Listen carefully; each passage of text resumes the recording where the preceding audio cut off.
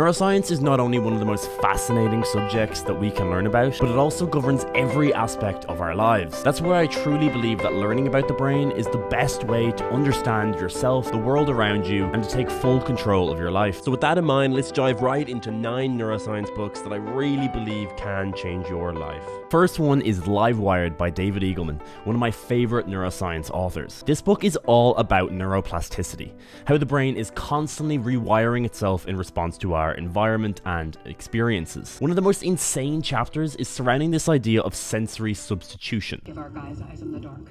Angels are activating your best now.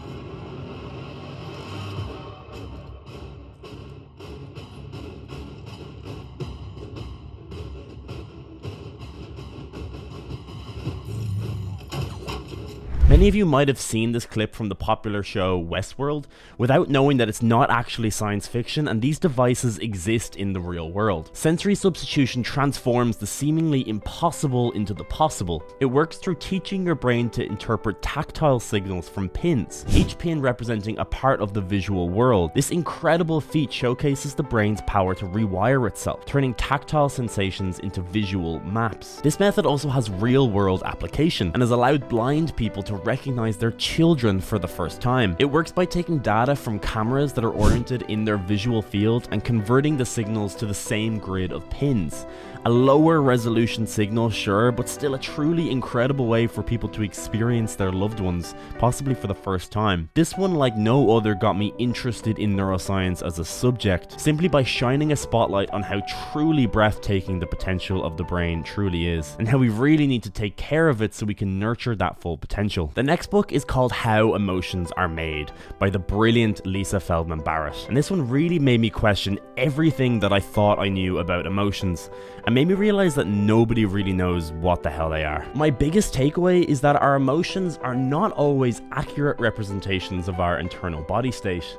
They are actually predictions that are constructed based on our past experiences, based on our learned concepts, and our internal body state in that current moment. When I'm deep in a run and start feeling an overwhelming urge to stop, that's my interoceptive system making a prediction based on my bodily state in that current moment. It sees a raised heart rate, oxidative stress, and a drop of blood glucose, and it's recalling past experiences of fatigue and discomfort and signaling that it might be time to stop, as it knows that when I do quit, all of those physiological markers will return to baseline. But this is a prediction, it's not objective fact that we are harming ourselves or that we cannot continue. Understanding these concepts has been a game changer it's helped me push through the pain barrier, but not by dismissing my emotions, but by understanding them for what they are. Not accurate objective truths, but subjective interpretations shaped by past experiences and learned concepts. And most importantly, they can be recategorized. Fascinatingly, I can actually see this directly in my own running data. The initial portion of the run is always the hardest.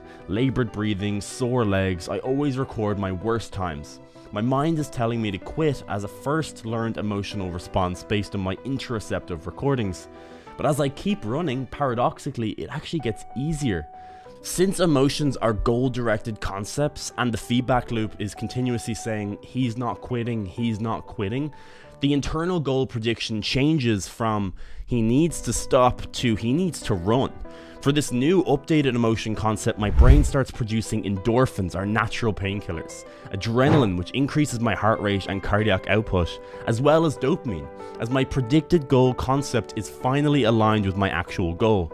This realization has not only improved my running, but also how I interpret and manage my emotions in my everyday life. To prove this point to the absolute extreme, I recently watched an insane documentary called The Iceman, produced by the YouTube channel Yes Theory about the incredible Danish athlete Anders Hofman, who became the first ever human to complete a long distance triathlon in Antarctica.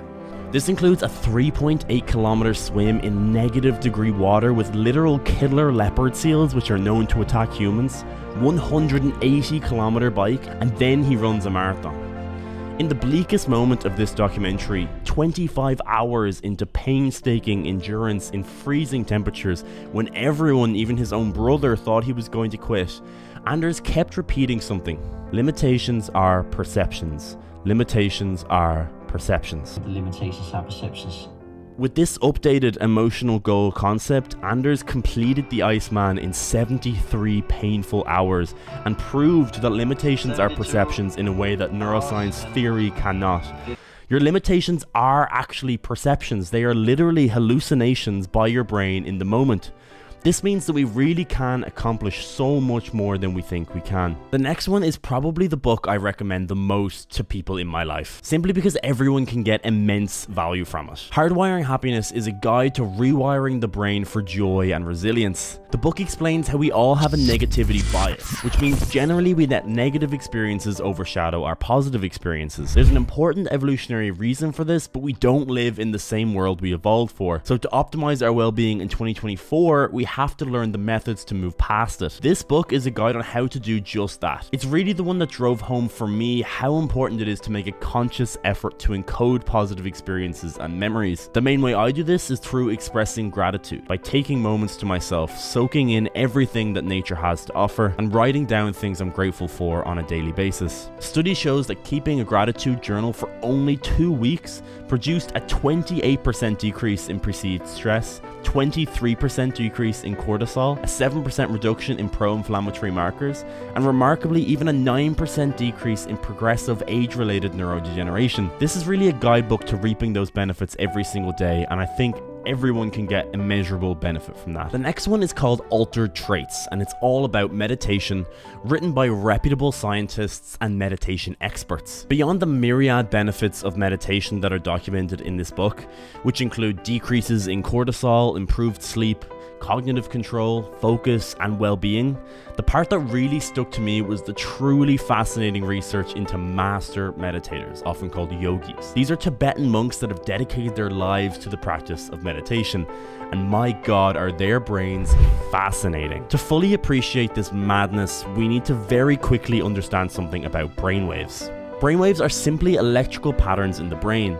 We classify these patterns by the regularity in which the neurons fire, and they respond very well to particular behaviors that we know. Delta, deep sleep, theta, drowsiness, light sleep, alpha, relaxed, calm, beta, awake, focused, and gamma.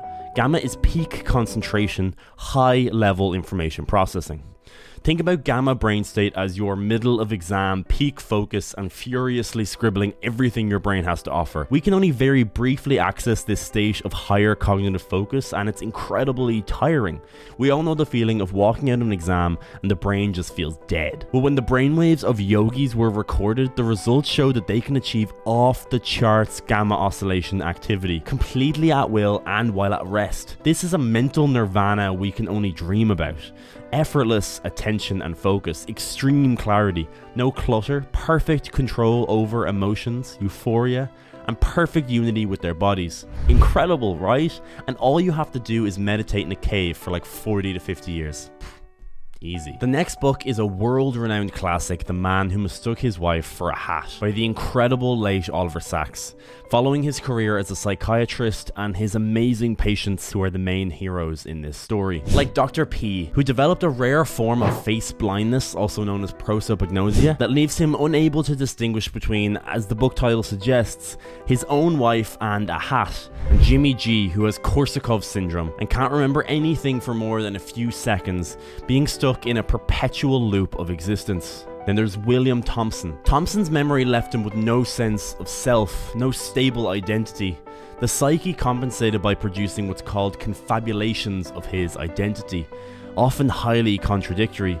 These are improvised identities where Thompson's mind was essentially trying to fill the gaps in his existence. Each identity can be seen as a creative attempt to make sense of his present circumstances, given the absence of a coherent past. While in the police station, he became the police officer. While in the hospital, he assumed the identities of patient, doctor, and surgeon. I read this book many years ago and it filled me with a burning desire to try and understand the complexity of the mind and inspired me towards the incredibly fulfilling path that I'm on at the moment.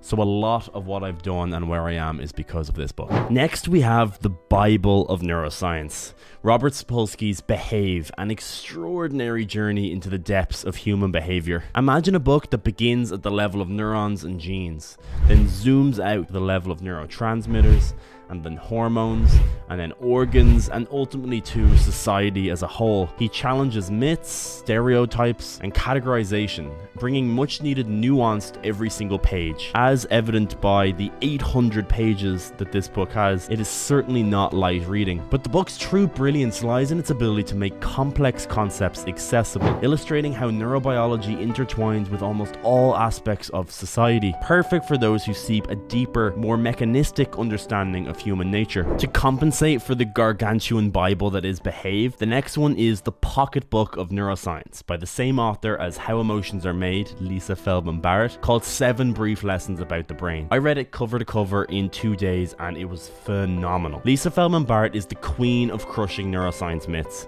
From destroying the triune brain model that I learned in my undergraduate neuroscience degree, which says we have a lizard brain and a mammalian control center. If I was to recommend one book on this whole list, I think it would be this one, simply because of how digestible but jam packed with fascinating neuroscience it really is. This book will transform your entire knowledge of the brain in the time it takes to drink two coffees. The next one is another by David Eagleman. The Brain, the Story of You attempts to bridge the gap between the brain as just a lump of fat in your skull and the phenomenon of actually being human how we make decisions, how we experience the world, form relationships, and make new memory, and ultimately how it determines who we are and our potential. It's another very accessible neuroscience book because it's packed with human stories rather than research and studies. The core message of this book is that you don't perceive objects the way they are, you perceive objects the way you are, sculpted by your biases and beliefs from your experiences. This book is a tale about how these perceptions warp over your lifetime, and it's packed with so many fascinating tidbits. Last but not least is Why We Sleep by resident sleep expert Matthew Walker. I think the world is finally moving past hustle culture and appreciating that a lack of sleep is not a status symbol, but simply a recipe for anxiety and mediocrity. As always, my approach when trying to take something seriously and to make a change in my life is to learn about it. And Matthew Walker is simply the best researcher and communicator about the neuroscience of sleep and its benefits. From how caffeine, sunlight, jet lag affects your sleep, to a stunning neuroscience deep dive into the beautiful orchestral display of memory consolidation during REM sleep, there simply is no competition when it comes to books about sleep. One fact that really stuck with me is that if you usually get 8 hours of sleep and then on any given night for whatever reason you get 6 hours, you can miss up to 90% of your REM sleep due to the mysterious way our sleep stages cycle at night. There's no point drowning on. I really hope that you enjoyed the video. Thank you so much for staying to the end.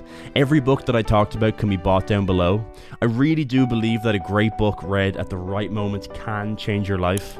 Consider subscribing for more amazing neuroscience content because the quality is only going to get better and better for here. Thank you so much for watching and I'll see you next time.